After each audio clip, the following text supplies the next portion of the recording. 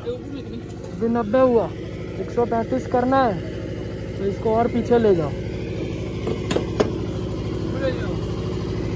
लगाओ।